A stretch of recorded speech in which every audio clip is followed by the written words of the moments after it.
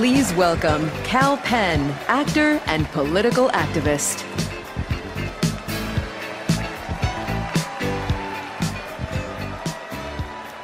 Hello. Thank you. Thank you guys. Nice. See, I like that. Thank you very much. I am honored to accept your nomination for President of the United States. Wait, this is not my speech. Uh, uh, prompter guy, can we pull up my speech, please? This is awkward. Uh, so while we're waiting, uh, I guess I should uh, have a message, a special message for those of you at home who recently turned 18. Good news. I can now legally register you to vote.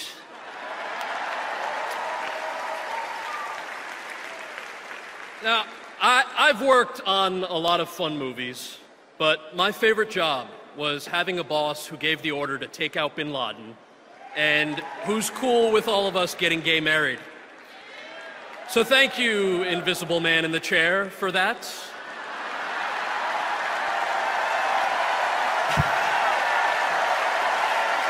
and for giving my friends access to affordable health insurance and doubling funding for the Pell Grants.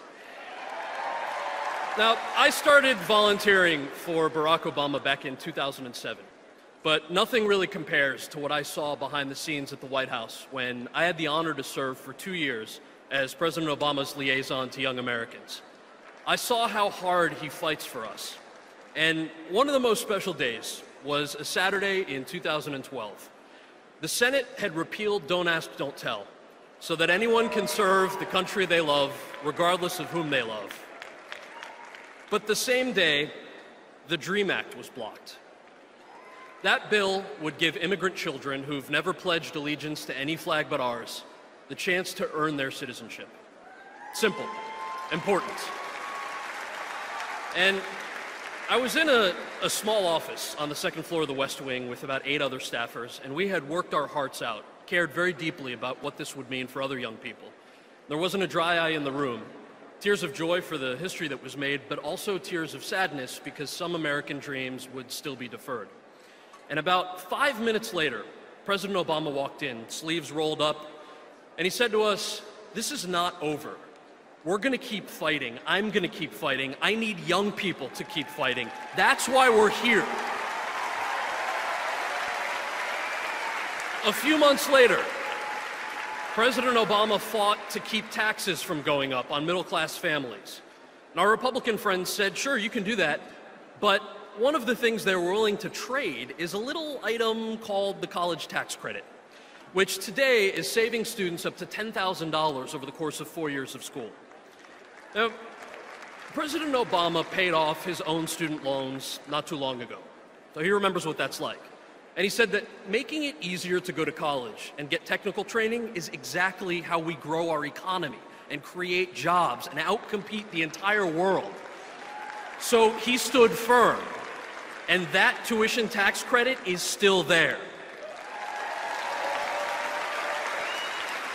But here's the thing Here's the thing if we don't register, if we don't vote, it won't be. I volunteered in Iowa in 2007 because, like you, I had friends serving in Iraq. I had friends who were looking for jobs, others who couldn't go to the doctor because they couldn't afford it. I felt that had to change. So I knocked on some doors, I registered voters, and I'm, I'm volunteering again because my friend Matt got a job at a Detroit car company that still exists and Lauren can get the prescriptions that she needs. I'm volunteering because Josiah is back from Iraq.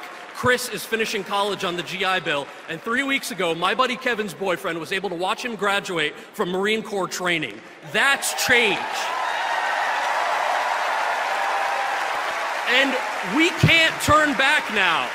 So, so before I close, and as I wonder which Twitter hashtags you'll start using when I'm done talking, hashtag sexy face, I ask all of you young people to join me.